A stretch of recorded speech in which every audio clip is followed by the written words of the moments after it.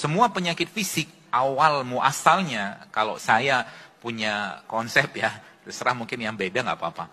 Semua penyakit fisik kita bermula dari bermasalahnya hatinya kita. Semua penyakit fisik.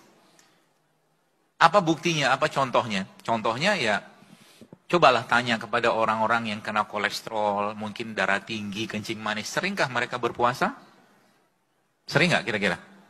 Jarang. Kalau orang yang menerapkan pola hidup sehatnya Nabi, nggak mungkin kena penyakit degeneratif. Itu sebabnya Nabi kita alaihissalam, Rasulullah tuh kalau kita baca dalam kitab Syama'il Muhammadiyah, Rasulullah tuh kan ketika beliau meninggal, ubannya cuma tiga loh. Uban tiga itu tanda bahwa oksidasi dalam tubuh beliau tuh minimal sekali. Karena beliau juga jarang makan, banyakkan puasanya. Ya. Tanya Aisyah ada makanan? Nggak ada. Aisyah radhiyallahu bertanya, ada makan nggak ada? Akhirnya apa yang beliau kerjakan?